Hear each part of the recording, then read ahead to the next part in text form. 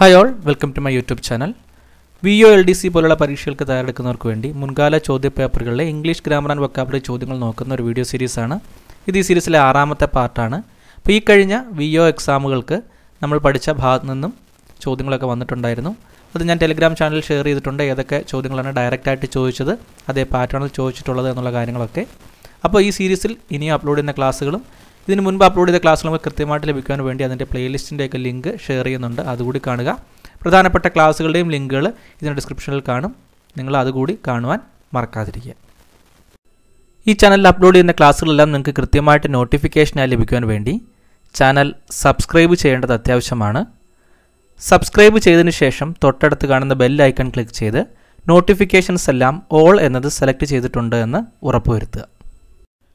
ഈ channel upload ചെയ്യുന്ന എല്ലാ ക്ലാസ്സുകളുടെയും ലിങ്കുകളും നോട്ടിഫിക്കേഷൻസും ഒക്കെ ടെലിഗ്രാം വഴി ലഭിക്കുവാൻ വേണ്ടി ചാനലിന്റെ ടെലിഗ്രാം ബ്രോഡ്കാസ്റ്റ് ഗ്രൂപ്പിൽ ജോയിൻ ചെയ്യുക. ഇതൊരു ബ്രോഡ്കാസ്റ്റ് ഗ്രൂപ്പാണ് നിങ്ങൾക്ക് ലിങ്ക് ക്ലിക്ക് ചെയ്ത് ജോയിൻ ചെയ്യാം. അതിന്റെ ലിങ്ക് ഡിസ്ക്രിപ്ഷനിൽ കൊടുത്തിട്ടുണ്ട്. അല്ലെങ്കിൽ ടെലിഗ്രാമിൽ Kerala P S C online Guruji എന്ന് സെർച്ച് ചെയ്താൽ നിങ്ങൾക്ക് ചാനൽ കാണാൻ പറ്റും. അത് ജോയിൻ ചെയ്തിട്ടിരുന്നാൽ നിങ്ങൾക്ക് പുതിയ അപ്ഡേറ്റ്സ് ഒക്കെ അവിടെ ലഭിക്കുന്നതായിരിക്കും. ഇപ്പോൾ നമുക്ക് ഒന്നാമത്തെ ചോദ്യം നോക്കാം. Choose the correct passive form they are preparing the dinner they are preparing the dinner എന്നുള്ള ആ ഒരു സെന്റൻസിന്റെ പാസീവ് ഫോമാണ് ചോദിച്ചിട്ടുള്ളത്. അപ്പോൾ നാല് ഓപ്ഷൻസ് വായിച്ച് നോക്കാം. The dinner is prepared by them the dinner is being prepared by them the dinner was prepared by them the dinner are prepared by them അപ്പോൾ നമ്മൾ നേരത്തെയും ചെയ്തിട്ടുള്ളതാണ്. ദ ഡിന്നർ വേണം ഇവിടെ സബ്ജക്റ്റ് ആയിട്ട് വരാൻ. കാരണം സ്റ്റേറ്റ്മെന്റിലെ ഓബ്ജക്റ്റ് ഇതാണ്. ഇപ്പോഴത്തെ സബ്ജക്റ്റ് ദ ഡിന്നറാണ് അപ്പോൾ നാല് ഓപ്ഷനിലും അത് തന്നെയാണ്. Are preparing present continuous tense ആണ്. അപ്പോൾ ദ ഡിന്നർ സബ്ജക്റ്റ് ആയിട്ട് വരുമ്പോൾ ഈസ് ആയിരിക്കണം വരേണ്ടത്. കാരണം ദ ഡിന്നർ എന്നുള്ളത് സിംഗുലർ ആണ്. അപ്പോൾ സിയും ഡിയും നമുക്ക് ക്യാൻസൽ ചെയ്ത് കളയാം. ദ ഡിന്നർ ഈസിൽ നിന്ന് സ്റ്റാർട്ട് ചെയ്യണം. ഐ എൻ ജി വന്നതുകൊണ്ട് ബീയിങ് പ്രിപ്പയർഡ് എന്ന് തന്നെ വരണം. ബീയിങ് കഴിഞ്ഞിട്ട് V three form of the verb അപ്പോൾ ഈ ഓപ്ഷൻ ക്യാൻസൽ ചെയ്ത് കളയാം. കറക്റ്റ് ആൻസർ ബി ഓപ്ഷനാണ് the dinner is being prepared by them അപ്പോൾ നമ്മളിത് ആറാമത്തെ പാർട്ടാണ് അപ്പോൾ ഇതിന് മുൻപ് അഞ്ച് പാർട്ടുകളും പിന്നീട് രണ്ടായിരത്തി പത്തൊൻപതിൽ ഇതുവരെ നടന്ന പരീക്ഷകളുടെ ഇംഗ്ലീഷ് ഗ്രാമർ ആൻഡ് വൊക്കാബുലറി പാർട്ടിലെ നാൽപ്പത് ചോദ്യങ്ങളും ഡിസ്കസ് ചെയ്ത് വീഡിയോ ചെയ്തിട്ടുണ്ട്. അപ്പോൾ അതൊന്നും കാണാത്തവരാരായിട്ട് ആരെങ്കിലും ഉണ്ടെങ്കിൽ അത് ഏതെങ്കിലും വീഡിയോ കാണാത്തവരാരെങ്കിലും ഉണ്ടെങ്കിൽ പൂർണമായിട്ടും അതുകൂടി കണ്ടിട്ട് ഈ വീഡിയോയിലേക്ക് എത്തുക. അപ്പോൾ അത്രയും നമ്മൾ ചോദ്യങ്ങളുടെ ഒരു പാറ്റേൺ മനസ്സിലാവും. സ്ഥിരമായിട്ട് പി എസ് സി ചോദിച്ചിട്ടുള്ള ആ ഒരു ചോദ്യങ്ങളൊക്കെ നിങ്ങൾക്ക് ക്ലിയർ ആവും. ഓക്കെ രണ്ടാമത്തെ ചോദ്യം നോക്കാം. Fill in the blanks if you had come I dash for you ഇപ്പം എന്താണ്? കണ്ടീഷണൽ ക്ലോസ് ആണ്. അപ്പോൾ നിങ്ങൾ തന്നെ ശ്രദ്ധിക്കുക ഓരോ പരീക്ഷയിൽ ഏതൊക്കെ ചോദ്യങ്ങൾ റിപ്പീറ്റ് ചെയ്ത് വരുന്നുണ്ട് എന്നുള്ള കാര്യം. അപ്പോൾ ഈ ക്ലാസ്സിലൊക്കെ വി ഒക്ക് വേണ്ടി മാത്രമല്ല നിങ്ങൾക്ക് പ്രയോജനപ്പെടുന്നത്. എൽ ഡി ക്ലർക്ക് പരീക്ഷയ്ക്ക് അടുത്ത വർഷത്തേക്ക് വരുന്ന എൽ ഡി ക്ലർക്ക് പരീക്ഷയ്ക്കും നിങ്ങൾക്ക് പ്രയോജനപ്പെടുന്ന ചോദ്യങ്ങൾ തന്നെയാണ്. അപ്പോൾ if you had come I dash for you would wait will wait would have waited will have waited അപ്പോൾ നമുക്കറിയാം സബോർഡിനേറ്റ് ക്ലോസിൽ വരുന്നത് ഹാർഡ് ആണെങ്കിൽ ഇത് മെയിൻ ക്ലോസ് ആണ്. മെയിൻ ക്ലോസിൽ എന്തായിരിക്കും ഇത് യു ഹാഡ് കം ആവുമ്പോൾ വുഡ് ഹാവ് വെയിറ്റഡ് എന്ന് വരും. If you had come I would have waited for you എന്ന് വരും. അതിന്റെ three types type one type two type three മൂന്നും എക്സ്പ്ലെയിൻ ചെയ്തുകൊണ്ടുള്ള ഇഫ് ക്ലോസിന്റെ വീഡിയോ ഉണ്ട്. അത് ഇതിന്റെ ഡിസ്ക്രിപ്ഷനിൽ കൊടുത്തിട്ടുണ്ട്. നമ്മൾ നേരത്തെ ചെയ്തിട്ടുള്ള ക്ലാസ്സാണ് അപ്പോൾ അതുകൂടി കാണും. ക്ലിയർ ആയല്ലോ? മൂന്നാമത്തെ ചോദ്യം നോക്കാം. Use the proper idiom during the monsoon it rains cats and dogs kick the bucket catch twenty two a doubting Thomas അപ്പോൾ ഈ ഡാഷ് വരുന്ന ഭാഗത്ത് കൃത്യമായിട്ട് അതിന്റെ അർത്ഥം വരുന്ന ഇഡിയം ചേർക്കാനാണ് പറഞ്ഞിട്ടുള്ളത്. അപ്പോൾ during the monsoon it rains നമുക്ക് മനസ്സിലായി ചോദ്യം വായിച്ചു മനസ്സിലായി. മൺസൂൺ കാലഘട്ടത്തിലെ മഴയെക്കുറിച്ചാണ് പറയുന്നത്. അപ്പോൾ ഡ്യൂറിങ് ദ മൺസൂൺ മൺസൂൺ സമയത്ത് എന്തായിരിക്കും? ഹെവി റെയിൻ ആയിരിക്കും വരുന്നത്. വളരെ ശക്തമായിട്ടുള്ള മഴയായിരിക്കും വരുന്നത്. അപ്പോൾ ഹെവി റെയിന് തുല്യമായിട്ടുള്ള ഇഡിയം ഓപ്ഷൻ ഒന്ന് സെലക്ട് ചെയ്യാനാണ് ചോദിച്ചിട്ടുള്ളത്. അപ്പോൾ നമുക്കറിയാം ഹെവി റെയിൻ എന്നുള്ളത് ക്യാറ്റ്സ് ആൻഡ് ഡോഗ്സ് ആണ്. ഇറ്റ്സ് ക്യാറ്റ്സ് ആൻഡ് ഡോഗ്സ് എന്ന് പറഞ്ഞാൽ ഹെവി റെയിൻ എന്ന് തന്നെയാണ് അർത്ഥം. അപ്പോൾ അതെങ്ങനെ കംപ്ലീറ്റ് ചെയ്യുക sentence during the monsoon it rains cats and dogs okay നാലാമത്തെ ചോദ്യം. Fill in the blanks one of my friends dash in Mumbai now ഇത് കോൺകോഡ് എന്നുള്ള ഭാഗത്തിൽ വരുന്ന ചോദ്യമാണ്. അല്ലെങ്കിൽ സബ്ജക്റ്റ് വെർബ് എഗ്രിമെന്റ് അപ്പോൾ നമ്മൾ സിലബസിൽ പറഞ്ഞിട്ടുള്ള അതേ പാർട്ട് തന്നെയാണ് ചോദ്യങ്ങളിലും വരുന്നത്. അപ്പോൾ വൺ ഓഫ് മൈ ഫ്രണ്ട്സ് കഴിഞ്ഞിട്ട് വെർബ് സിംഗുലർ ആയിരിക്കുമോ പ്ലൂറൽ ആയിരിക്കുമോ? വൺ ഓഫ് മൈ ഫ്രണ്ട്സ് കഴിഞ്ഞിട്ട് ഇവിടെ വരുന്നത് സിംഗുലർ വെർബ് ആയിരിക്കണം വരേണ്ടത്. അപ്പോൾ നാല് ഓപ്ഷൻസിൽ ഏതാണ് സിംഗുലർ ആയിട്ടുള്ളത്?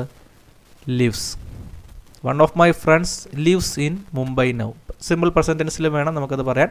One of my friends lives in Mumbai now clear ആണല്ലോ? അഞ്ചാമത്തെ ചോദ്യം. Substitute with one word a branch of medicine concern with diseases of the bones and muscles of human body അപ്പോൾ വൺ വേർഡ് സബ്സ്റ്റിറ്റ്യൂഷനാണ് ചോദിച്ചിട്ടുള്ളത്. അതായത് സയൻസിൽ അസ്ഥികളെയും മസിലുകളെയും കുറിച്ചൊക്കെ മനുഷ്യ ശരീരത്തിലെ അസ്ഥികളെയും മസിലുകളെയും കുറിച്ച് പേശികളെയും കുറിച്ചൊക്കെ പഠിക്കുന്ന മെഡിക്കൽ വിഭാഗത്തിന് പറയുന്ന ആ ബ്രാഞ്ചിന് പറയുന്ന ശാഖയ്ക്ക് പറയുന്ന പേരെന്താണെന്നാണ് ചോദ്യം. Orthodontics ophthalmic orthopaedics ortho C ഓപ്ഷനും ഡി ഓപ്ഷനും സെയിം ആയിട്ടാണ് വന്നത്. അപ്പോൾ സി ഓപ്ഷൻ തന്നെയാണ് ശരി ഉത്തരം. ഡി ഓപ്ഷൻ നമുക്ക് മറ്റൊരു ഓപ്ഷനായിട്ട് കൺസിഡർ ചെയ്യാം. ഇപ്പോൾ ടൈപ്പിംഗ് മിസ്റ്റേക്ക് വന്നാണ്. ഓർത്തോപീഡിക്സ് ഓർത്തോപീഡിക്സ് ആണ് a branch of medicine concern with diseases of the bones and muscles of human body okay C ഓപ്ഷനാണ് കറക്റ്റ് ആൻസർ ആറാമത്തെ ചോദ്യം. Choose the correct relative pronoun I will show you a house dash you can buy ഇപ്പോൾ pronoun use ചെയ്യുന്ന pronoun വെച്ച് blank fill ചെയ്യുന്ന ചോദ്യങ്ങൾ നമ്മൾ നേരത്തെ ചെയ്തിട്ടുണ്ട്. അപ്പോൾ I will show you a house dash you can buy when where who which ഇപ്പോൾ എന്താണ് സെൻസ് പറയാൻ ഉദ്ദേശിക്കുന്നത്? താങ്കൾക്ക് വാങ്ങാൻ പറ്റുന്ന അല്ലെങ്കിൽ നിനക്ക് വാങ്ങാൻ പറ്റുന്ന ഒരു വീട് ഞാൻ നിനക്ക് കാണിച്ചു തരാം. അപ്പോൾ വീട് എന്നുള്ളൊരു വസ്തുവാണ് ജീവനില്ലാത്ത വസ്തുവാണ്. അപ്പോൾ I will show you a house which you can buy ഏതാണോ വീട്? നിനക്ക് വാങ്ങാൻ പറ്റുന്ന ആ വീട് നിനക്ക് കാണിച്ചു നൽകാം. ഡി ഓപ്ഷനാണ് കറക്റ്റ് ആൻസർ ഓക്കെ ആണല്ലോ. ഏഴാമത്തെ ചോദ്യം നോക്കാം. My younger son has just dash a letter written wrote writing write അപ്പോൾ സെന്റൻസ് വായിക്കുമ്പോൾ അതിന്റെ അർത്ഥവും അതിലെ ടെൻസും കൂടി നമ്മൾ മനസ്സിലാക്കണം. My younger son has just dash a letter അതിന്റെ അർത്ഥം എന്താണ് വേണ്ടത് എന്റെ ഇളയ മകൻ ഇപ്പോൾ ഒരു ലെറ്റർ എഴുതി കഴിഞ്ഞതേ ഉള്ളൂ. അപ്പോൾ പാസ്റ്റിൽ തുടങ്ങിയെങ്കിലും തീർന്നത് ജസ്റ്റ് പ്രസന്റിലാണ് തീർന്നത്. അങ്ങനെ വരുന്ന കാര്യങ്ങൾ നമ്മൾ പറയാൻ ഉദ്ദേശിക്കുന്ന ടെൻസ് ഏതാണ്? പ്രസന്റ് പെർഫെക്റ്റ് ടെൻസ് ആണ്. പ്രസന്റ് പെർഫെക്റ്റ് ടെൻസ് അപ്പോൾ ഒരുപാട് പേര് ടെൻസിന്റെ ഒരു ക്ലാസ് ചെയ്യാമെന്ന് ചോദിക്കുന്നുണ്ട്. അപ്പോൾ നമ്മൾ ചാനൽ തുടങ്ങിയ സമയത്തൊക്കെ നേരത്തെ രണ്ട് ചെറിയ പാർട്ടായിട്ട് പ്രസന്റ് ടെൻസും പാസ്റ്റ് ടെൻസും ചെയ്തിരുന്നു. അപ്പോൾ നമുക്ക് ഇനി ഒരു പുതിയ ക്ലാസ് ആയിട്ട് ടെൻസ് ഫുള്ള് ക്ലിയർ ചെയ്യുന്ന ഒരു സിംഗിൾ ക്ലാസ് ആയിട്ട് നമുക്ക് ചെയ്യാം. അപ്പോൾ ടൈം കിട്ടുമ്പോൾ ചെയ്യാം. അപ്പോൾ എൽ ഡി സി ട്വന്റി ട്വന്റിയുടെ മാത്സിന്റെ ക്രാഷ് കോഴ്സ് ഒക്കെ നടന്നുകൊണ്ടിരിക്കുകയാണ്. അപ്പോൾ അതിനിടയ്ക്ക് സമയം ഉണ്ടെങ്കിൽ ഇതുപോലെ ഇംഗ്ലീഷ് ക്ലാസ്സിൽ നിങ്ങൾക്ക് ചാനൽ ചെയ്യുന്നുണ്ട് ഫ്രീ ക്ലാസ് ആയിട്ട് ചെയ്യുന്നുണ്ട്. അപ്പോൾ അതിനിടയ്ക്ക് സമയം കിട്ടുകയാണെങ്കിൽ ടെൻസിന്റെ ഒരു ക്ലാസ് കൂടി ചെയ്ത് ചാനൽ ഇടാം. ഡീറ്റെയിൽ ആയിട്ട് മൂന്ന് ടെൻസും അത് എവിടെയൊക്കെയാണ് ഉപയോഗിക്കേണ്ടത് എന്നുള്ളത് അതിന്റെ സ്ട്രക്ചറൊക്കെ വരുന്നൊരു ക്ലാസ് കൂടി നമുക്ക് ചെയ്ത് ചാനലിടാം ഓക്കെ അപ്പോൾ ഇവിടെ പ്രസന്റ് പെർഫെക്റ്റ് ആകുമ്പോൾ എന്താണ്? Has or have plus V three form of the verb ചേർക്കണം. അപ്പോൾ ഇവിടെ നോക്കുക. V three form of the verb ഏതാണ്? ഹാസ് ജസ്റ്റ് എഴുതുക എന്നുള്ള അർത്ഥമാണ്. അതിന്റെ വി ത്രീ ഫോം ഏതാണ്? Written write wrote written written ആണ് വി ത്രീ ഫോം അപ്പോൾ എങ്ങനെയാണ് സെന്റൻസ് കംപ്ലീറ്റ് ആവുന്നത്? My younger son has just written the written a letter clear ആണല്ലോ? എട്ടാമത്തെ ചോദ്യം. He dash thirsty looking have looked looks none of these അപ്പോൾ അവനെ കണ്ടിട്ട് അവന് ദാഹമുണ്ടെന്ന് തോന്നുന്നു. അവൻ ദാഹിതനായി തോന്നുന്നു എന്നുള്ള അർത്ഥമാണ് ആ സെന്റൻസിൽ വരുന്നത്. അപ്പോൾ നമ്മളത് എങ്ങനെയാണ് കൺവേ ചെയ്യുന്നത്? He looks thirsty he looks thirsty ഒരു ഫാക്റ്റ് പോലെ പറയുകയാണ്. ഹീ ലുക്സ് തേഴ്സ്റ്റി എന്നാണ് വരുന്നത്. സി ഓപ്ഷനാണ് കറക്റ്റ് ആൻസർ ഓക്കെ ഒൻപതാമത്തെ ചോദ്യം. Elephantiasis is a animal disease elephants young one none of these അപ്പോൾ നമ്മൾ സയൻസ് കൂടിയൊക്കെ പഠിക്കുന്നവരായതുകൊണ്ട് ഇത് കാണുമ്പോൾ തന്നെ മനസ്സിലാവും.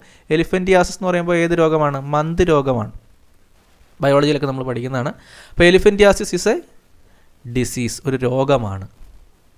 നമുക്കത് പെട്ടെന്ന് റിലേറ്റ് ചെയ്യാൻ പറ്റുന്നതാണ്. ഇത് ഇംഗ്ലീഷ് ഗ്രാമറിലെ വൊക്കാബുലറി പാർട്ടായിട്ട് വരുന്നതാണ്. ഈ വാക്ക് എന്താണോ എന്ന് നിങ്ങൾക്കറിയാമോ എന്നുള്ള തരത്തിലുള്ള ചോദ്യമാണ്. ഓക്കെ പത്താമത്തെ ചോദ്യം. Would you mind dash a bit would you mind കഴിഞ്ഞിട്ട് എന്ത് പറയണം നമ്മൾ നേരത്തെയും പഠിച്ചിട്ടുണ്ട്. Moving move moves move would you mind moving a bit I N G ഫോമാണ് ചേർക്കുന്നത്. Would you mind moving a bit okay പതിനൊന്നാമത്തെ ചോദ്യം നോക്കാം. അപ്പോൾ നമ്മളിത് ആറാമത്തെ പാർട്ടാണ്. ആദ്യ രണ്ട് പാർട്ടിൽ നമ്മൾ ഇരുപത്തിയഞ്ച് ഇരുപത്തിയഞ്ച് ചോദ്യങ്ങൾ വീതം അൻപത് ചോദ്യം കംപ്ലീറ്റ് ചെയ്തു. അടുത്ത രണ്ട് പാർട്ടിൽ നമ്മൾ മുപ്പത് മുപ്പത് വെച്ച് അറുപത് ചോദ്യങ്ങൾ എക്സ്ട്രാ ആയിട്ട് ചെയ്തു. അതിനുശേഷം അഞ്ചാമത്തെ പാട്ടിൽ അൻപത് ചോദ്യങ്ങളടങ്ങുന്ന ഒരു ചോദ്യം ചെയ്തു. ഇത്രയും ക്ലാസ്സുകൾ രണ്ടാമത്തെ പരീക്ഷയ്ക്ക് മുൻപായിട്ട് നമ്മൾ ചെയ്തതാണ്. അതിനുശേഷം നമ്മൾ കഴിഞ്ഞ പരീക്ഷയുടെ രണ്ട് ചോദ്യപേപ്പറുകളിലെ നാൽപ്പത് ചോദ്യങ്ങൾ കംപ്ലീറ്റ് ആയിട്ട് ചെയ്ത് ഒരു സെപ്പറേറ്റ് ഒരു വീഡിയോ ചെയ്തു. ഇത് ആറാമത്തെ പാർട്ടാണ് ഈ ഭാഗത്ത് നമ്മൾ അൻപത് ചോദ്യങ്ങളാണ് ഡിസ്കസ് ചെയ്യുന്നത്. ഓക്കെ ഇപ്പോൾ മാക്സിമം എല്ലാ ക്ലാസ്സും കാണുക ഒരു ചോദ്യം പോലും വിടാതെ നോക്കുക. നമ്മൾ എല്ലാ ചോദ്യങ്ങളും പ്രീവിയസ് ഇയർ ക്വസ്റ്റ്യൻസ് ആണ് നോക്കുന്നത്. ഇപ്പോൾ ക്ലാസ്സുകളൊക്കെ ഇഷ്ടപ്പെടുന്നുണ്ടെങ്കിൽ നിങ്ങൾ തീർച്ചയായിട്ടും ലൈക്ക് ചെയ്യുക മാക്സിമം ഷെയർ ചെയ്യുക. നിങ്ങളുടെ സപ്പോർട്ട് കൊണ്ടാണ് നമ്മൾ ഇതുപോലെ കൂടുതൽ ക്ലാസ്സുകളൊക്കെ ചെയ്യുന്നത്. അപ്പോൾ നമുക്ക് പന്ത്രണ്ടാമത്തെ ചോദ്യം നോക്കാം. If you studied well you dash the examination പിന്നെയും ഒരു കണ്ടീഷണൽ ക്ലോസിന്റെ ക്വസ്റ്റ്യൻ വന്നിട്ടുണ്ട്. അപ്പോൾ if you studied well simple പാസിലാണ് if you studied well you would pass the examination അപ്പോൾ നമ്മൾ അതിന്റെ ടൈപ്പ് ടു ആണ് ഇത് വരുന്നത്. സ്റ്റഡീഡ് ആണ് വരുന്നതെങ്കിൽ യു വുഡ്. നീ നല്ലതുപോലെ പഠിച്ചിരുന്നെങ്കിൽ നീ എക്സാം പാസ്സായേനെ. രണ്ടും പാസ് നടക്കുന്ന കാര്യം തന്നെയാണ്. You would pass the examination okay പന്ത്രണ്ടാമത്തെ ചോദ്യം. ചൂസ് ദ കറക്റ്റ് വൺ ഇപ്പം നാല് ക്വസ്റ്റ്യൻസ് കൊടുത്തിട്ടുണ്ട്. അപ്പോൾ അതിൽ ഒരെണ്ണം മാത്രമേ കറക്റ്റ് ഫോർമാറ്റിലുള്ളൂ അതേതാണെന്നാണ് ചോദ്യം. Do you know what his name is do you know what is his name do you know what was his name do you know what were his name അപ്പോൾ ഒരു ക്വസ്റ്റ്യൻ ഫോർമാറ്റിൽ വരുന്ന ഓപ്ഷൻ എന്ന് പറഞ്ഞാൽ A ഓപ്ഷനാണ് do you know what his name is അവന്റെ പേര് എന്താണ് എന്ന് നിനക്കറിയാമോ? അപ്പോൾ നിനക്കറിയാമോ എന്നുള്ള ഭാഗമാണ് ചോദ്യം. ബാക്കിയുള്ള ഭാഗം ഒരു സ്റ്റേറ്റ്മെന്റ് ഫോർമാറ്റിൽ വേണം വരാൻ. വാട്ട് ഹിസ് നെയിം ഈസ് അവന്റെ പേര് എന്താണെന്ന് നിനക്കറിയാമോ? അങ്ങനെയാണ് ആ ചോദ്യം വരേണ്ടത്. ബി ഓപ്ഷൻ നോക്കുക do you know what is his name ഇപ്പോൾ ഇതും ചോദ്യമാണ്. ഡു യു നോ എന്നുള്ളതും ചോദ്യഭാഗമാണ്. അങ്ങനെയല്ല അതിന്റെ കറക്റ്റായിട്ട് യൂസ് ചെയ്യേണ്ടത്. ഇവിടെ ടെൻസ് മാറുന്നതേ ഉള്ളൂ. ഈസ് വാസ് ആകുന്നതേ ഉള്ളൂ. അങ്ങനെയുമല്ല ഫോർമാറ്റ് വാട്ട് കഴിഞ്ഞ് സബ്ജക്റ്റ് കഴിഞ്ഞ് ഹിസ് നെയിം എന്നുള്ളതാണ് സബ്ജക്റ്റ് പിന്നെ ഓക്സിലറി വെർബ് വരുമ്പോഴാണ് അതൊരു സ്റ്റേറ്റ്മെന്റ് ഫോർമാറ്റിലാവുന്നത് ഡു യു നോ എന്നുള്ള പാർട്ടാണ് ക്വസ്റ്റ്യൻ അതിന്റെയാണ് ക്വസ്റ്റ്യൻ ഇവിടെ കൊടുത്തിട്ടുള്ളത്. ഡി ഓപ്ഷൻ നോക്കുക. Do you know what where where എന്നുള്ളതും വരില്ല. സിംഗുലറാണ് അപ്പോൾ അങ്ങനെയും ഡി ഓപ്ഷൻ തെറ്റാണ്. അപ്പോൾ മോസ്റ്റ് ആക്യുറേറ്റ് ആയിട്ട് വരുന്നത് do you know what his name is എന്നുള്ളതാണ്. ഓക്കെ ആണല്ലോ. പതിമൂന്നാമത്തെ ചോദ്യം. He made me dash dance to by in none of these ഇപ്പം മെയ്ഡ് മീ എന്ന് പറഞ്ഞു കഴിഞ്ഞാൽ നിർബന്ധിച്ച് അവൻ എന്നെ കൊണ്ട് ഡാൻസ് കളിപ്പിച്ചു എന്നുള്ള അർത്ഥമാണ് വരുന്നത്. അപ്പോൾ അത് കഴിഞ്ഞിട്ട് ഓക്സിലറി വെർബിന്റെ അല്ലെങ്കിൽ പ്രിപ്പോസിഷന്റെ ഒന്നും ആവശ്യമില്ല. ഹീ മെയ്ഡ് മീ ഡാൻസ് എന്ന് മാത്രം മതി. അപ്പോൾ ഡി ഓപ്ഷനാണ് correct answer none of these ഈ മൂന്ന് ഓപ്ഷന്റെ ആവശ്യമില്ല. ഹീ മെയ്ഡ് മീ ഡാൻസ് അതാണ് കറക്റ്റ് ആൻസർ ഓക്കെ പതിനാലാമത്തെ ചോദ്യം. Bring me a blanket question ടാഗാണ് ഉദ്ദേശിച്ചിട്ടുള്ളത്. അപ്പോൾ നമുക്കറിയാം ഇതൊരു ഇമ്പരേറ്റീവ് സെന്റൻസ് ആണ്. ഇമ്പരേറ്റീവ് സെന്റൻസ് എന്ന് പറഞ്ഞാൽ എന്താണ്? ഓർഡർ അല്ലെങ്കിൽ റിക്വസ്റ്റ് പോലെയൊക്കെ നമുക്ക് പറയാവുന്നതാണ്. അങ്ങനെയാണെങ്കിൽ നമ്മൾ പറഞ്ഞിട്ടുണ്ടത് വില്യു ആയിരിക്കും ടാഗ് ടാഗ് പോസിറ്റീവ് ആണോ നെഗറ്റീവ് ആണോ എന്ന് നോക്കണ്ട. വില്യു ആണ് ചേർക്കുന്നത്. Bring me a blanket will you എനിക്കൊരു ബ്ലാങ്കറ്റ് എടുത്തുകൊണ്ട് വാ. വരുമോ? അല്ലേ? അങ്ങനെയുള്ള ആ ഒരു രീതിയിലുള്ള ചോദ്യഭാഗമാണ് ക്വസ്റ്റ്യൻ ടാഗായിട്ട് വരുന്നത്. വില്യു ഓക്കെ പതിനഞ്ചാമത്തെ ചോദ്യം നോക്കാം. The correctly spelled word is ഇപ്പോൾ നമ്മൾ എല്ലാ ഭാഗത്തും കണ്ടതാണ്. കറക്റ്റായിട്ട് സ്പെല്ലിങ് വരുന്ന വാക്ക്. വെജിറ്റബിൾ എന്നുള്ള വാക്കാണ് നമുക്ക് വായിക്കുമ്പോൾ മനസ്സിലാവുന്നുണ്ട്. ആദ്യത്തെ ചോദ്യത്തിന്റെ ഓപ്ഷൻ എന്താണ്? ഓപ്ഷന്റെ സ്പെല്ലിംഗ് എന്താണ്? V E G I T A B L E B option V E G E T A B L E C option V E G E T E B L E D option V E G I T A B L അപ്പോൾ വായിച്ചപ്പോൾ നമുക്ക് മനസ്സിലായി. B ഓപ്ഷനാണ് vegetable എന്നുള്ളതിന്റെ correct spelling okay ഇപ്പോൾ ഇത്രയും ചോദ്യങ്ങൾ ശ്രദ്ധിച്ച് വായിച്ച് നോക്കിയിട്ട് വേണം നമ്മൾ ആൻസർ മാർക്ക് ചെയ്യാൻ. കാണുമ്പോൾ എല്ലാം ഒരുപോലെയൊക്കെ ഇരിക്കും. പതിനാറാമത്തെ ചോദ്യം. Change the following sentence in the passive form passive ഫോമിൽ എഴുതാനാണ്. Sheeja enjoys reading simple present ടെൻസിലുള്ളൊരു statement ആണ്. ഷീജ എൻജോയ്സ് റീഡിങ് അപ്പോൾ നമുക്കറിയാം റീഡിങ് ആയിരിക്കണം അടുത്ത സബ്ജക്റ്റ് ആയിട്ട് വരേണ്ടത്. അപ്പോൾ നാല് ഓപ്ഷൻ റീഡിങ് വന്നു. എൻജോയ്സ് എന്നുള്ളത് സിമ്പിൾ പ്രസന്റൻസ് ആയതുകൊണ്ട് ഈസ് വേണം വരാൻ. അപ്പോൾ വാസ് വരുന്ന ഭാഗം കട്ട് ചെയ്തു. വാസ് വരുന്ന ഭാഗം കട്ട്. ഈ രണ്ട് ഓപ്ഷൻ ക്യാൻസൽ ചെയ്യാം. സിമ്പിൾ പ്രസന്റ് ടെൻസ് ആയതുകൊണ്ട് reading is enjoyed by Sheela is plus V three form of the വെർബാണ് നമ്മളത് പറഞ്ഞിട്ടുള്ളതാണ്. ഈസ് ബീയിങ് വരണമെങ്കിൽ കണ്ടിന്യൂസ് ടെൻസ് ആയിരിക്കണമായിരുന്നു ഇവിടെ. അപ്പോൾ അതുമല്ല വന്നിട്ടുള്ളത്. അപ്പോൾ ബി ഓപ്ഷനാണ് correct answer reading is enjoyed by Sheela B ഓപ്ഷനാണ് കറക്റ്റ് ക്ലിയർ ആയല്ലോ? പതിനേഴാമത്തെ ചോദ്യം. Replace the italicised word with suitable phrasal verb I found by chance an interesting picture in the magazine അപ്പോൾ ഇവിടെ ഒരു ഇറ്റാലിക്സ് ആയിട്ടുള്ള ഒരു ഭാഗം തന്നിട്ടുണ്ട് ഒരു വേർഡ് തന്നിട്ടുണ്ട്. അതിന്റെ തത്തുല്യമായ ഫ്രൈസൽ വർബ് സെലക്ട് ചെയ്യാനാണ് പറഞ്ഞിട്ടുള്ളത്. അപ്പോൾ ഫൗണ്ട് ബൈ ചാൻസ് ഈ സെന്റൻസിന്റെ അർത്ഥം എന്താണ്? ഞാൻ അവിചാരിതമായിട്ട് ആ മാഗസീനിൽ വളരെ ഇൻട്രസ്റ്റിംഗ് ആയിട്ടുള്ളൊരു പിക്ചർ കണ്ടു എന്നാണ് പറഞ്ഞത്.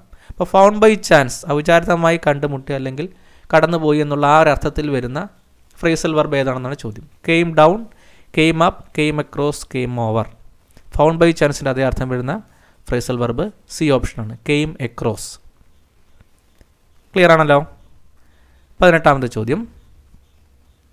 ചൂസ് ദ കറക്റ്റ് സെന്റൻസ് ഇപ്പം നാല് സെന്റൻസ് തന്നിട്ടുണ്ട്. അതിൽ കൃത്യമായ ഗ്രാമാറ്റിക്കൽ മിസ്റ്റേക്ക് ഇല്ലാത്ത സെന്റൻസ് ഏതാണ് ചോദ്യം. ഒന്നാമത്തെ ചോദ്യം. The girls are play football the girls were playing football the girls plays football the girls playing football അപ്പോൾ the girls are play football എന്ന് വരില്ല. കാരണം ആർ വന്നു കഴിഞ്ഞാൽ പ്ലേയിങ് വരണം. അത് തെറ്റാണ്.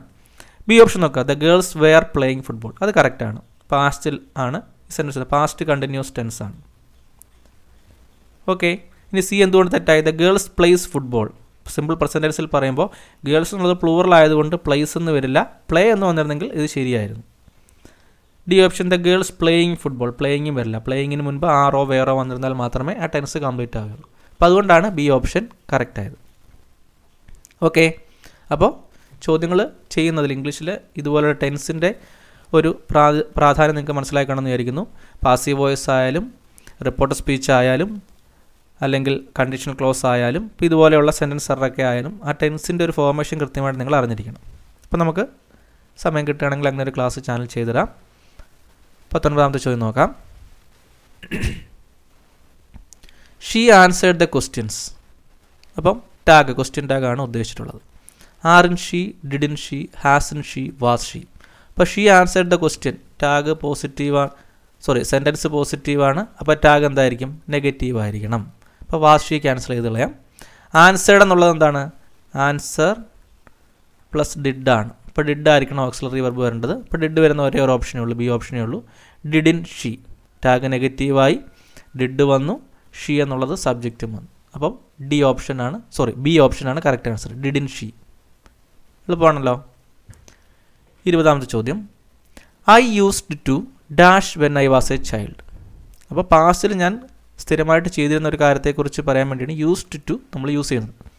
I use to dash when I was a child dancing danced danced dance ഇപ്പോൾ ബിയും സിയും സെയിം ആണ്. അപ്പോൾ അതെന്ന് പറഞ്ഞാൽ യൂസ്ഡ് ടു കഴിഞ്ഞിട്ട് വെർബിന്റെ വി വൺ ഫോം ചേർത്താൽ മതി. ഇങ്ങനെ സിറ്റുവേഷൻ വരുമ്പോൾ I use to dance when I was a child ഞാൻ കുട്ടിയായിരുന്നപ്പോൾ സ്ഥിരമായിട്ട് ഡാൻസ് കളിക്കാറുണ്ടായിരുന്നു. ഐ യൂസ് ടു ഡാൻസ് എന്ന് മാത്രം ചേർത്താൽ മതി. ഓക്കെ ആണല്ലോ. ഇരുപത്തിയൊന്നാമത്തെ ചോദ്യം. It will be dash to the commission within a couple of days it will be dash to the commission within a couple of days forwarded എന്നുള്ള വാക്കാണ് ഇവിടെ ഉദ്ദേശിച്ചുള്ളത് അപ്പോൾ നമ്മൾ നേരത്തെ നമ്മൾ പഠിച്ചിട്ടുണ്ട്. അത് ഡയറക്റ്റായിട്ട് ചോദിക്കും. നാല് ഓപ്ഷനിൽ കൃത്യമായ സ്പെല്ലിംഗ് ഉള്ള വേഡ് ഏതാണെന്ന് ചോദിക്കും. ഇവിടെ ഒരു ബ്ലാങ്ക് ഫില്ല് ചെയ്യാനുള്ള രീതിയിലാണ് ചോദിച്ചിട്ടുള്ളത്. പക്ഷേ ഒരു ഉദ്ദേശിച്ചിട്ടുള്ളത് ഫോർവേഡഡ് ഞാൻ കമ്മീഷന്റെ മുൻപാകെ അത് സമർപ്പിച്ചു അല്ലെങ്കിൽ അങ്ങോട്ട് ഫോർവേഡ് ചെയ്തു. അങ്ങോട്ട് അങ്ങേ അങ്ങോട്ട് അയച്ചു എന്നുള്ള അർത്ഥമാണ് വരുന്നത്. അപ്പോൾ അല്ലെങ്കിൽ രണ്ട് ദിവസത്തിനകത്ത് അങ്ങോട്ട് അയക്കും എന്നുള്ളൊരു അർത്ഥമാണ് വരുന്നത്. അപ്പോൾ ഫോർവേഡഡ് എന്നുള്ളതിന്റെ കൃത്യമായ സ്പെല്ലിംഗ് ആദ്യത്തെ ഓപ്ഷൻ നോക്കുക. F O R W A R D E D B option F O R E W O R D D C option F O R E W A R D D D option F O R W E R D D ഫോർവേഡിന്റെ correct spelling എന്താണ്? A ഓപ്ഷനാണ് correct answer it will be forwarded to the commission within a couple of days okay അപ്പോൾ ഈ video കണ്ടുകൊണ്ടിരിക്കുമ്പോൾ ഓരോ പുതിയ സ്ലൈഡും load ആവുമ്പോൾ നിങ്ങൾ just video ഒന്ന് പോസ്റ്റ് ചെയ്ത് വെച്ചിട്ട് നിങ്ങൾക്കായിട്ട് തോന്നുന്ന ആൻസേഴ്സ് ഒന്ന് ഒരു പേപ്പറിൽ എഴുതി വെക്കുക. അതിനുശേഷം എക്സ്പ്ലനേഷൻ കൂടി ശ്രദ്ധിക്കുക. അപ്പോൾ നിങ്ങൾക്ക് ഒരു പരീക്ഷ എഴുതുന്ന ഒരു രീതിയിൽ തന്നെ വരും. ഓക്കെ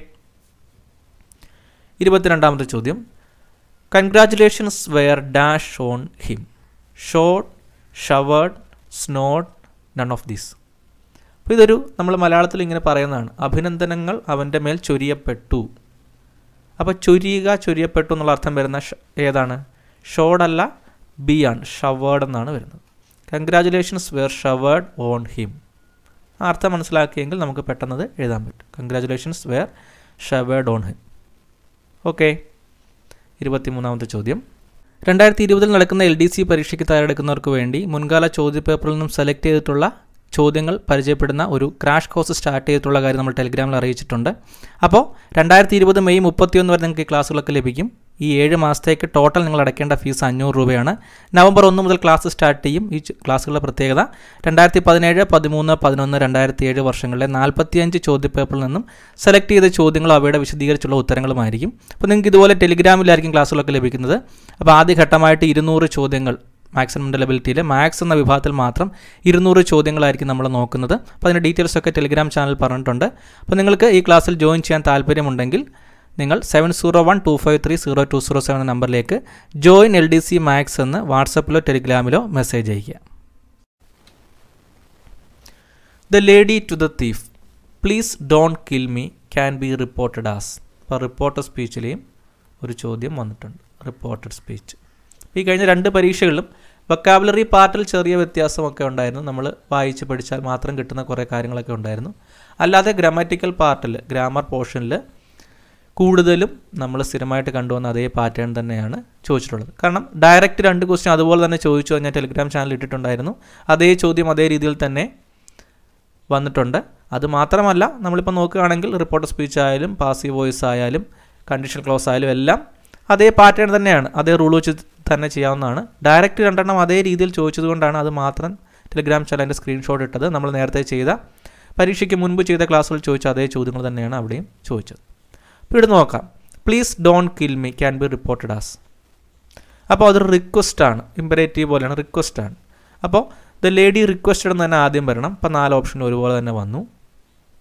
ആരോടാണ് റിക്വസ്റ്റ് ചെയ്തത്? തീഫിനോടാണ് ദ തീഫ് എന്നുള്ളതും നാല് ഓപ്ഷനിലും വന്നു. ഡോൺ കിൽ മീ എന്നാണ് വന്നിട്ടുള്ളത്. Please don't kill me can be reported as അപ്പം ഡോൺ കിൽ ഹർ എന്ന് തന്നെ വരില്ല. റിപ്പോർട്ട് ചെയ്യുമ്പോൾ ചേഞ്ച് വരണം. The lady requested the thief not to kill her അപ്പോൾ ഇത് പാസ്റ്റ് ആക്കുമ്പോൾ കിൽഡ് വരുമോ എന്നൊക്കെ നമുക്ക് ചിന്തിക്കും. പക്ഷേ നോട്ട് ടു കഴിഞ്ഞിട്ട് എപ്പോഴും വെർബിന്റെ വി വൺ മാത്രം ചേർത്താൽ മതി. The lady requested the thief not to kill her requested ആകുമ്പോൾ തന്നെ അത് പാസ്റ്റിലേക്ക് പോയി. അപ്പോൾ നമുക്ക് സി ഓപ്ഷൻ ക്യാൻസൽ ചെയ്യാം. The lady requested the thief didn't kill her അത് കറക്റ്റ് അല്ല. നോട്ട് ടു ആണ് അവിടെ വരേണ്ടത്. നോട്ട് ടു കിൽഡ് വരില്ല. നോട്ട് ടു കിൽ ഹെർ ആണ് വരുന്നത് ബി ഓപ്ഷനാണ് കറക്റ്റ് ആൻസർ ഇതുപോലൊരു ചോദ്യം നമ്മൾ ആദ്യ ഭാഗത്തും ചെയ്തതാണ്. നോട്ട് ടു വരുന്നൊരു പാർട്ട് നമ്മൾ നേരത്തെയും ചെയ്തതാണ്. ക്ലിയർ ആണല്ലോ? ഇരുപത്തിനാലാമത്തെ ചോദ്യം. The prefix homo means homo എന്നുള്ള പ്രിഫിക്സ് ചേർക്കുന്നത് എത്തരം സിറ്റുവേഷനിലാണെന്നാണ് ചോദ്യം. അല്ലെങ്കിൽ അതിന്റെ അർത്ഥം എന്താണെന്നാണ് ചോദ്യം. The same different simple none of this ഇപ്പോൾ ഹോമോ എന്നുള്ള വാക്ക് ചേർക്കുന്നത് ഒരേ തരത്തിലുള്ള കാര്യങ്ങളെ റെപ്രസെന്റ് ചെയ്യാൻ വേണ്ടിയാണ്. അപ്പോൾ എന്താണ് ആൻസർ വരുന്നത്? ഈ ഓപ്ഷൻ ദ സെയിം ആണ് വരുന്നത്. ഹോമോ എന്നുള്ള വാക്കിന്റെ അർത്ഥം വരുന്നത് ദ സെയിം ഒരേ തരത്തിൽ എന്നുള്ള അർത്ഥമാണ് വരുന്നത്. ഓക്കെ ആണല്ലോ? ഇരുപത്തിയഞ്ചാമത്തെ ചോദ്യം. Pick out the odd one patricide matricide fratricide pesticide അപ്പോൾ പാട്രിസൈഡ് എന്താണെന്ന് നമുക്കറിയാം? ഒരാളുടെ പിതാവിനെ കൊല്ലുന്നതിനാണ് പാട്രിസൈഡ് എന്ന് പറയുന്നത്. മാട്രിസൈഡ് എന്ന് പറയുമ്പോൾ മാതാവിനെ കൊല്ലുന്നത് ഫ്രാട്രിസൈഡ് എന്ന് പറയുമ്പോൾ സഹോദരനെ സഹോദരിയെ കൊല്ലുന്നതിനാണ് ഫ്രാട്രിസൈഡ് എന്ന് പറയുന്നത് അപ്പോൾ പെസ്റ്റിസൈഡ് എന്ന് പറയുമ്പോൾ ആ ഒരു കാറ്റഗറിയിൽ വരുന്ന വാക്കല്ല കീടനാശിനി എന്നുള്ള ഒരർത്ഥം വരുന്നത്. അത് മറ്റൊരു ഒരു നൗൺ ഫോമാണ് ഇത് മൂന്നും ഒരു വെർബിന്റെ ഒരു രീതിയിലാണ് വരുന്നത്. അപ്പോൾ ആ ഒരു വ്യത്യാസം നിങ്ങൾക്ക് മനസ്സിലായല്ലോ പെസ്റ്റിസൈഡ് എന്ന് പറയുമ്പോൾ ഈ ഒരു രീതിയിൽ വരുന്നതല്ല. ഓക്കെ ഇരുപത്തിയാറാമത്തെ ചോദ്യം. Which is not correctly matched dogs bark elephant trumpets horse brays frogs croak അപ്പോൾ ഇത് കാണുമ്പോൾ തന്നെ നിങ്ങൾക്ക് മനസ്സിലായി മൃഗങ്ങളും അവയുടെ ശബ്ദങ്ങളുമാണ് ഉദ്ദേശിച്ചിട്ടുള്ളത്. ഡോഗ്സ് ബാർക്ക് ശരിയാണ് എലിഫന്റ് ട്രംപറ്റ് ശരിയാണ് ഹോഴ്സ് ബ്രേസ് അല്ല. അപ്പോൾ നമ്മൾ പറഞ്ഞിട്ടുണ്ട് ഹോഴ്സിന്റെത് നെയ് എന്നുള്ളൊരു സൗണ്ടാണ് ഹോഴ്സിനുണ്ടാക്കുന്നത് ഹോഴ്സ് ഉണ്ടാക്കുന്നത് ഫ്രോക്സ് എന്നുള്ളത് ക്രോക്കും ശരിയാണ്. അപ്പോൾ നോട്ട് കറക്റ്റ്ലി മാച്ച്ഡ് എന്ന് പറയുമ്പോൾ സി ഓപ്ഷനാണ് കറക്റ്റ് ആൻസർ തെറ്റായ രീതിയിൽ പെയർ ചെയ്തിരിക്കുന്നത് സി ഓപ്ഷനാണ് ഓക്കെ ക്ലിയർ ആയല്ലോ? ഇരുപത്തിയേഴാമത്തെ ചോദ്യം. Choose the correct word and fill in the blanks dash rice the hard was eaten away by rat little a little of little with little ഇപ്പോൾ എന്താണ് സെന്റൻസിന്റെ അർത്ഥം വരുന്നത്? Dash rice the hard was eaten away by rat എന്തെങ്കിലും അരി ഉണ്ടായിരുന്നത് എല്ലാം ആ എല്ലുകൾ തിന്ന് തീർത്തു അല്ലെങ്കിൽ എലി തിന്ന് തീർത്തു എന്നാണ്. അപ്പോൾ അവിടെ കുറച്ച് അരി ഉണ്ടായിരുന്നു. അപ്പോൾ കുറച്ച് എന്നുള്ളത് ലിറ്റിൽ എന്ന് പറഞ്ഞാൽ ഒന്നുമില്ല എന്നാണ് നണ്ണെന്നാണ് അർത്ഥം. ലിറ്റിൽ എന്ന് പറഞ്ഞാൽ നെഗറ്റീവാണ് പൂർണമായിട്ട് നെഗറ്റീവാണ് അവിടെ തീരെ ഒന്നുമില്ലായിരുന്നു എന്നുള്ള അർത്ഥമാണ്. അപ്പോൾ അവിടെ കുറച്ച് റൈസ് ഉണ്ടായിരുന്നു. അപ്പോൾ അവിടെ എന്ത് പറയണം എ ലിറ്റിൽ എന്ന് വേണം വരാൻ. A little rice they had was eaten by അല്ലെങ്കിൽ ഈറ്റൺ എവേ ബൈ റാറ്റ് എന്നാണ് വരേണ്ടത്. ഓക്കെ ഇരുപത്തിയെട്ടാമത്തെ ചോദ്യം. സപ്ലൈ ദ ആർട്ടിക്കിൾ അപ്രോപ്രിയേറ്റ്ലി ആർട്ടിക്കിളാണ് ചേർക്കേണ്ടത്. I met dash European in the temple some and a the. ഇപ്പോൾ യൂറോപ്യൻ ഇ എന്നുള്ളത് ഒരു വവൽ ലെറ്റർ ആണെങ്കിലും യൂസ് അല്ലെങ്കിൽ അതിന്റെ പ്രൊനൗൺസിയേഷൻ യൂറോപ്യൻ എന്നാണ്. ഇപ്പോൾ ഒരു കൺസണന്റ് അക്ഷരമാണ് തുടക്കത്തിൽ വരുന്നത്. വ്യഞ്ജനാക്ഷരമാണ് വരുന്നത്. അപ്പോൾ I met a European in the temple എന്നാണ് വരുന്നത്. I met a European in the temple okay ഇരുപത്തി ഒൻപതാമത്തെ ചോദ്യം. Raghu has been working hard for two weeks and is dash tired after on over in. ഇപ്പം എന്തായിരിക്കും വരേണ്ടത്? രഘു കഴിഞ്ഞ രണ്ടാഴ്ചകളായിട്ട് കഠിനമായി വർക്ക് ചെയ്തുകൊണ്ടിരിക്കുകയാണ്. അപ്പോൾ അവൻ എന്ത് ടയർഡായിരിക്കും ഓവർ ടയേർഡ് സാധാരണ നിന്നും അധികമായിട്ട് ക്ഷീണിതനാണ് എന്നുള്ള ഒരർത്ഥം എന്ന ഓവർ ടയേർഡ് എന്നാണ് അവിടെ വരേണ്ടത്. ബാക്കി മൂന്നും അവിടെ ആപ്റ്റായിട്ട് വരില്ല. മുപ്പതാമത്തെ ചോദ്യം നോക്കാം. ചോദ്യം എന്താണ്? The masculine gender of traitress traitress എന്നുള്ളതിന്റെ masculine gender bachelor spinster traitor nun ഇത് സ്ത്രീലിംഗമാണ്. പുല്ലിംഗം എന്ത് വരും? ട്രൈട്രസ് എന്നുള്ളതിന്റെ മസ്കുലിൻ ജെൻഡർ ട്രൈറ്ററാണ് ട്രൈറ്റർ ഓക്കെ മുപ്പത്തിയൊന്നാമത്തെ ചോദ്യം.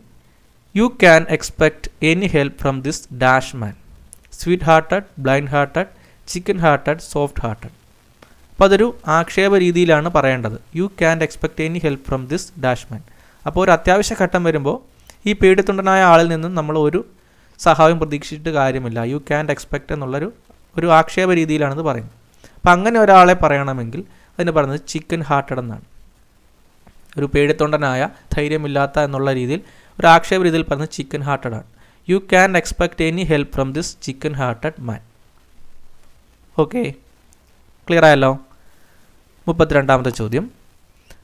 Our school science dash every year fair fair fear fire അപ്പോൾ സയൻസ് ശാസ്ത്രമേള എന്നൊക്കെ നമ്മൾ പറയുന്ന ആ കാര്യമാണ്.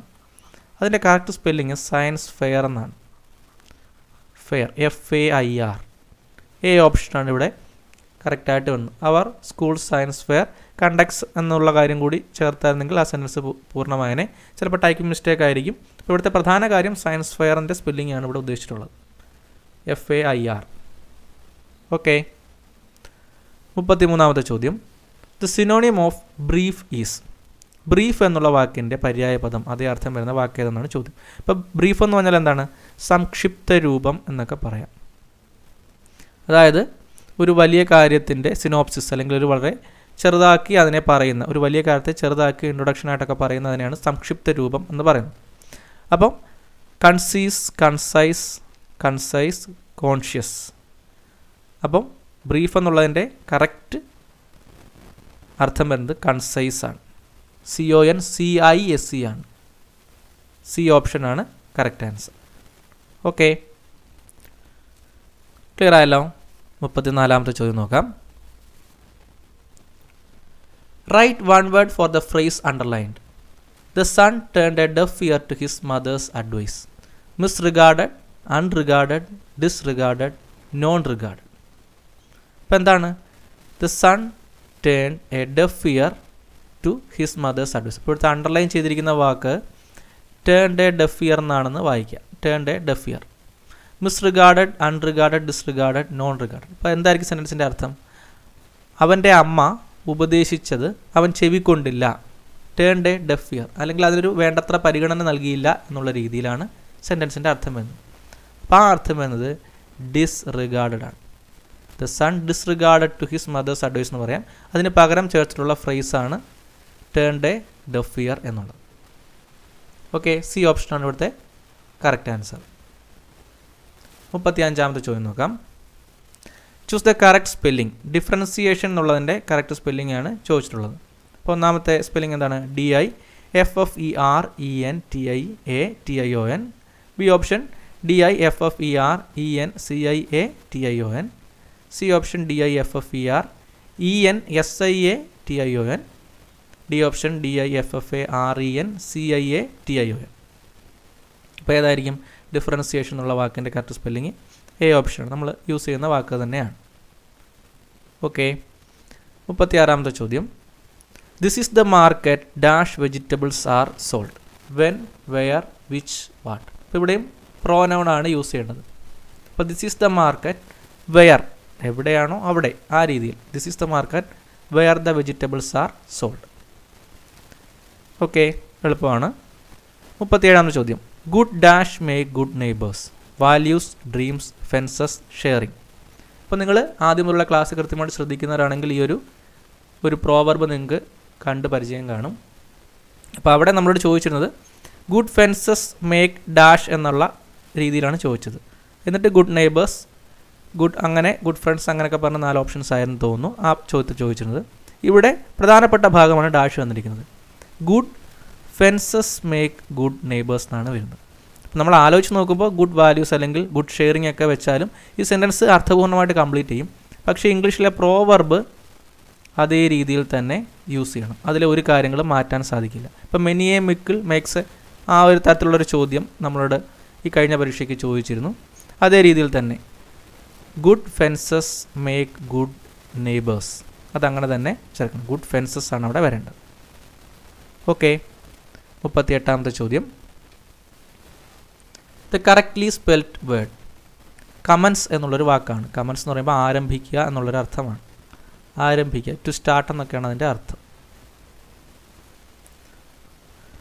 അപ്പോൾ അതിന്റെ correct spelling commence C O M M E N C ഉണ്ട്. C O M E N C ഉണ്ട്. C O M M E N S C ഉണ്ട്. A option sorry D option C O M E N S C ഉണ്ട്. അപ്പോൾ കമൻസിന്റെ കൃത്യമായ spelling A option commencement എന്നൊക്കെ പറയും. C O M M E N C E ആണ് correct answer okay മുപ്പത്തി ഒൻപതാമത്തെ ചോദ്യം she did not know how to dash all her difficulties she did not know how to dash all her difficulties put on called on get over look after ഇപ്പോൾ phrasal വർബാണ് ഉദ്ദേശിച്ചിട്ടുള്ളത്. ഇപ്പം നമുക്കറിയാം സെന്റൻസിന്റെ അർത്ഥം എന്താണ്? അവൾക്ക് അവളുടെ ഡിഫിക്കൽട്ടീസൊക്കെ പ്രയാസങ്ങളൊക്കെ എങ്ങനെ ഓവർകം ചെയ്യണമെന്ന് അറിയില്ല. അതിനെക്കുറിച്ച് യാതൊരു ധാരണയുമില്ല എന്നുള്ള രീതിയിലാണ് സെന്റൻസ് വന്നത്. അപ്പോൾ ഓവർകം എന്നുള്ള രീതിയിലുള്ള അർത്ഥത്തിലുള്ള ഫ്രൈസൽ വർബ് വേണം വരാൻ ഇപ്പോൾ put on called on get over look after ഇപ്പോൾ എന്താണ്? She did not know how to get over get ഓവറിനാണ് ഇതേ അർത്ഥം വരുന്നത്. Get over all her difficulties okay put on എന്ന് പറയുമ്പോൾ ധരിക്കുക കോൾഡ് ഓൺ വിസിറ്റ് ചെയ്യുക ലുക്ക് ആഫ്റ്റർ എന്ന് പറയുമ്പോൾ ടേക്ക് കെയർ ചെയ്യുക അങ്ങനെയുള്ള അർത്ഥമൊക്കെയാണ് വരുന്നത്. ഇവിടെ കറക്റ്റായിട്ട് വരുന്നത് ഗെറ്റ് ഓവർ ആണ്. ഓക്കെ നാൽപ്പതാമത്തെ ചോദ്യം. The house dash they lived in was destroyed by the floods the house dash they lived in was destroyed by the floods whose whom who which അപ്പോൾ ഏത് വീട്ടിലാണോ അവർ താമസിച്ചിരുന്നത്? ആ വീട് ഫ്ലഡ് വന്നപ്പോൾ വെള്ളപ്പൊക്കം വന്നപ്പോൾ നശിച്ചു പോയി അപ്പോൾ ആ വീടിനെ കുറിച്ചാണ് അവിടെ പ്രാധാന്യം കൊടുക്കുന്നത്. വിച്ച് ആണ് വരുന്നത്? The house which they lived in was destroyed by the floods okay നാൽപ്പത്തി ഒന്നാമത്തെ ചോദ്യം. Sachin is a great player dash the world cricket players among between on in അപ്പോൾ രണ്ടിലധികം ആൾക്കാരുടെ ഇടയിൽ ഒരാളുടെ കാര്യം കമ്പയർ ചെയ്യുമ്പോൾ നമ്മൾ എമംഗ് ആണ് ചേർക്കുന്നത്. Sachin is a great player among the world cricket players ലോക ക്രിക്കറ്റ് കളിക്കാരിൽ സച്ചിൻ ഒരു മഹാനായ കളിക്കാരനാണ്. ആണ് അവിടെ കൃത്യമായിട്ട് വരുന്നത്. ഓക്കെ നാൽപ്പത്തിരണ്ടാമത്തെ ചോദ്യം നോക്കാം. It was dash unanimous decision it was dash unanimous decision അപ്പോൾ ഇവിടെയും ആൻഡ് ദ എ ഓൺ അപ്പോൾ ഇറ്റ് വാസ് എ ആണ് വരുന്നത്. യു എന്നുള്ളത് ഒരു വവൽ സൗണ്ട് ആണെങ്കിലും യുനാനിമസ് എന്ന് പറയുമ്പോൾ പ്രൊണൗൺസിയേഷൻ ചേഞ്ച് വരുന്നതുകൊണ്ട് it was a unanimous decision എന്നാണ് വരുന്നത്. എളുപ്പമാണല്ലോ നാൽപ്പത്തി മൂന്നാമത്തെ ചോദ്യം. A regional variety of a language ഒരു ലാംഗ്വേജിന്റെ പ്രാദേശികമായ വെർഷൻ അല്ലെങ്കിൽ പ്രാദേശിക ഭാഷ. ലിംഗ്വിസ്റ്റ് ഡയലക്റ്റ് ബൈലിംഗ്വൽ പ്രസീഡ് അപ്പോൾ ഒരു പ്രാദേശികമായ ഭാഷയ്ക്ക് പറയുന്നത് ഡയലക്റ്റ് എന്നാണ്. ഇപ്പോൾ കേരളത്തിൽ തന്നെ പല ഭാഗങ്ങളിൽ പല രീതിയിലാണ് സംസാരിക്കുന്നത്. അപ്പോൾ അതിനെ നമ്മൾ പ്രാദേശിക ഭാഷ എന്ന് പറയും. ആ രീതിയിൽ അതിന്റെ വൺ വേർഡ് സബ്സ്റ്റിറ്റ്യൂഷനാണ് ഡയലക്റ്റ് ഓക്കെ നാൽപ്പത്തി നാലാമത്തെ ചോദ്യം. Rahul dash to play hockey before marriage ഇപ്പോൾ രാഹുൽ വിവാഹത്തിന് മുൻപ് സ്ഥിരമായിട്ട് ഹോക്കി കളിക്കാറുണ്ടായിരുന്നു എന്നാണ് ചോദ്യത്തിന്റെ അർത്ഥം. അപ്പോൾ നമ്മൾ നേരത്തെയും യൂസ്ഡ് ടു എന്നുള്ള വാക്കിന്റെ ഒരു ഉപയോഗം നമ്മൾ പഠിച്ചിട്ടുണ്ട്. ഭൂതകാലത്ത് സ്ഥിരമായിട്ട് ചെയ്യ ചെയ്യാറുള്ള ഒരു കാര്യത്തെക്കുറിച്ചാണ് നമ്മൾ യൂസ്ഡ് ടു വെച്ച് പറയുന്നത്. അപ്പോൾ നമ്മൾ ആദ്യത്തെ ഓപ്ഷൻ നോക്കുമ്പോൾ തന്നെ നമുക്ക് യൂസ് ടു ഇവിടെ കൊടുത്തിട്ടുണ്ട്. അപ്പോൾ നമ്മൾ നേരെ ഈ ഓപ്ഷൻ കറക്കും. പക്ഷേ ഇവിടെ ഒരു ടു ഉള്ളത് കൊണ്ട് നമുക്കിനി യൂസ്ഡ് ടു വേണ്ട. യൂസ്ഡ് മാത്രം മതി. Rahul used to play hockey before marriage. B ഓപ്ഷനാണ് ശരി ഉത്തരം. ഓക്കെ. അപ്പോൾ അത് നോക്കി വേണം മാർക്ക് ചെയ്യാൻ. നിങ്ങളെ തെറ്റിക്കുന്ന രീതിയിൽ ഓപ്ഷൻസ് കൊടുക്കാൻ സാധ്യതയുണ്ട്. ഓക്കെ. നാൽപ്പത്തി അഞ്ചാമത്തെ ചോദ്യം. The meaning of proclaim proclaim എന്നുള്ള വാക്കിന്റെ അർത്ഥം എന്താണെന്നാണ് ചോദ്യം. Refusing to obey extremely cruel announce something shock deeply ഇപ്പോൾ പ്രൊക്ലെയിം എന്ന് പറയാം. പ്രൊക്ലമേഷൻ ഒക്കെ പറഞ്ഞു കഴിഞ്ഞാൽ temple entry temple entry proclamation ഒക്കെ പറയും. ക്ഷേത്രപ്രവേശന വിളംബരം. വിളംബരമാണ് അനൗൺസ് സംതിങ് എന്നാണ് അതിന്റെ അർത്ഥം.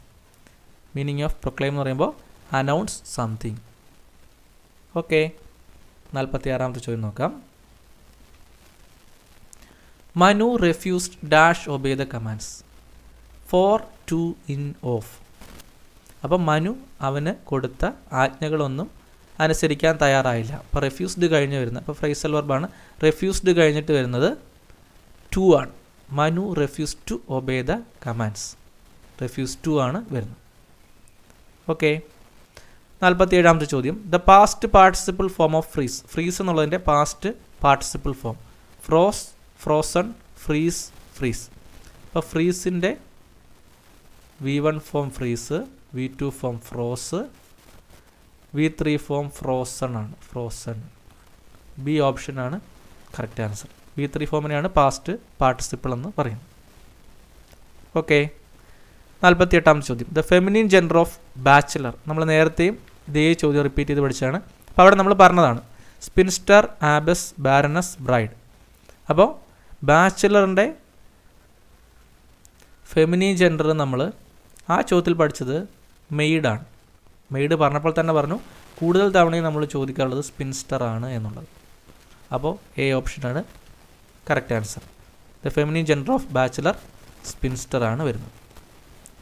ഓക്കെ നാൽപ്പത്തി ഒൻപതാമത്തെ ചോദ്യം എ ഡാഷ് ഓഫ് സെയിലേഴ്സ് അപ്പോൾ സെയിലേഴ്സിന്റെ ആ ഒരു കളക്റ്റീവ് നൗണാണ് ഉദ്ദേശിച്ചിട്ടുള്ളത്.